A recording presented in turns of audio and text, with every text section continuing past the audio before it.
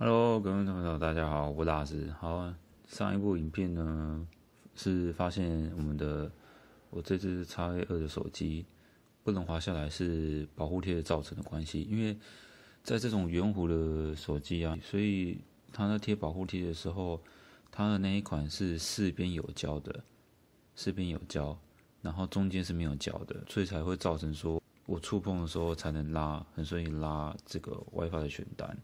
但是拿那个平面放的话，就会滑不了。这个就可能是刚好是什么静电的原理啊，是什么鬼的，造成那个荧幕的触碰机制没有触碰到。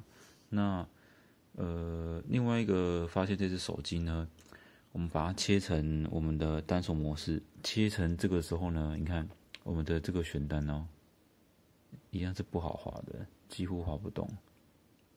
因为几乎没有，你通常应该从最上面往下滑嘛。可是它从从我们的这个看到这个这个小点点吗？就是上面 WiFi 这边，要从这边点一下出来才能拿，没办法像其他手机是顺着滑下去。你看原本的话，你看我可以从最上面滑下来，我不知道它这个是怎么弄的啦。这个这一点我就觉得不太好，我就去 Sony 的店家，然后把 X A 系列跟 L One 吧。还是 L two，应该是 L one，然后把它切成叉那个单手模式，叉 A 系列连 Ultra Plus L one 都没办法这样子直接很顺的滑下，都要放在这边再滑下来。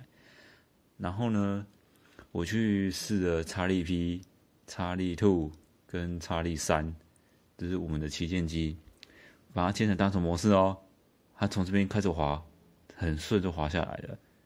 所以我觉得。他们对中间机的软体的教调教是不是有一些问题呢？而且它很顺哦，它可以从上从这边黑边滑下去，可是叉 A 系列都要从这边滑下来。嗯，算是不影响使用，因为平常是不会用单手模式啊。可是我觉得这个你既然做了这个单手模式，你就是要让人家方便啊，就是不好拉。你看，不好拉，神经病哦。神经病哦！好啦，那给想要买叉 A 系列的观众朋友考虑一下吧。就是有这有我有发现这个问题啊，可是看个人的个个人，我没有想说会不会影响到很大。好了，那这部影片到这边结束了。小米账号频道左下方图片按下订阅，也欢迎到右下角订阅按钮按下订阅，铃铛记得打开，这样子更新影片你就收到通知哦。谢谢，拜拜。